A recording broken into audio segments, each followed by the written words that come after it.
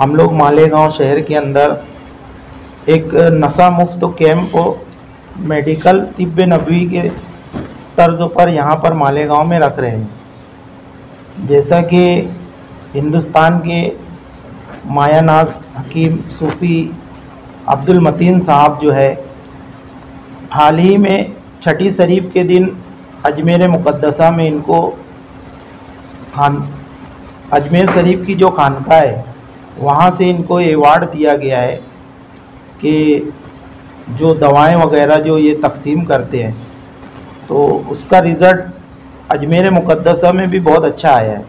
तो वहाँ के खादमीन की तरफ़ से इनको एवार्ड से नवाजा गया।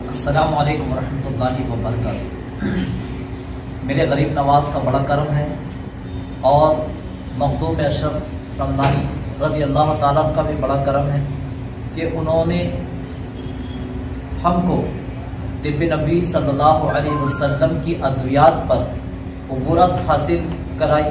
यानी ये बुज़ुर्गों का करम है कि अल्लाह तबारक ताला उन अद्वियात में हमारे हाथ से शिफा अता फरमाया और मैं आप के तमाम चैनल से ये एक मैसेज देना चाहता हूँ कि हम तिब नबी सल्लल्लाहु अलैहि वसल्लम की अद्वियात को जानें हम तिब नबी सल्लल्लाहु अलैहि वसल्लम की अद्वियात क्या है? इसके फ़वाद क्या है? आखिर इनसे कितनी बीमारियाँ दूर होती हैं? कौन कौन से मर्ज दूर होते हैं?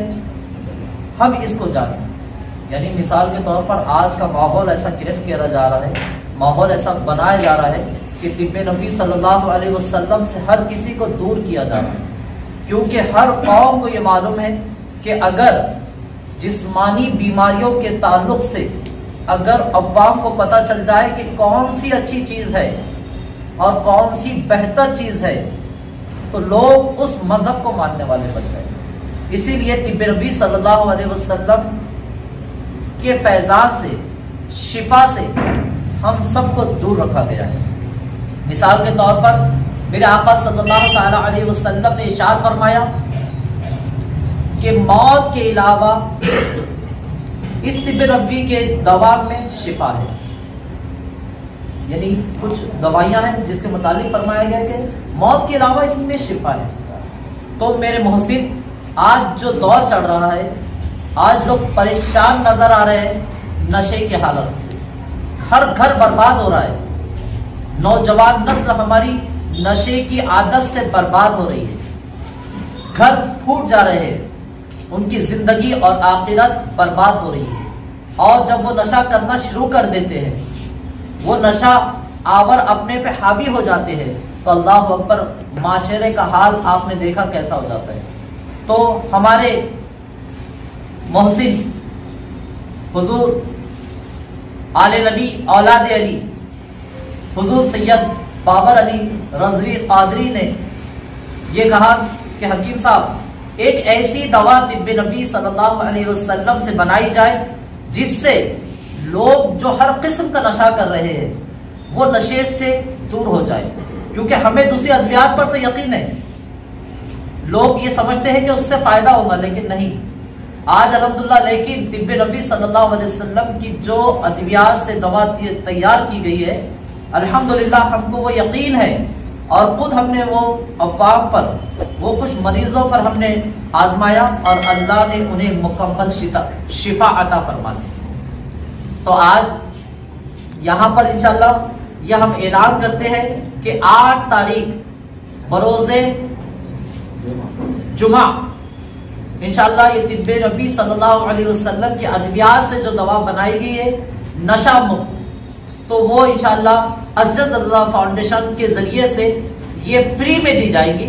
तो आप तमाम से हजरात से गुजारिश है कि इस दावत को ज़्यादा से ज़्यादा आम करें और जो अपने महलों में अपने बस्ती में अपने घरों में जो बच्चे नशा करते हैं उनके लिए यहाँ से फार्म हासिल करें और इन ताला इन दवाओं से इन दवा से सबको शिफाए कुल्ली शिफाए आजला अता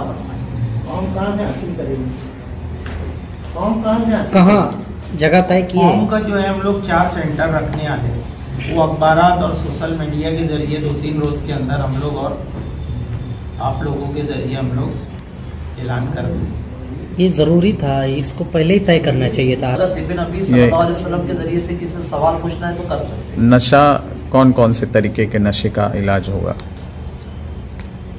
हर किस्म का नशा चाहे वो सिगरेट हो तंबाकू हो या ड्रिंक हो और आपके शहर में एक कुत्ता गोली बोलकर मशहूर है हमारे अहबाब ने बताया।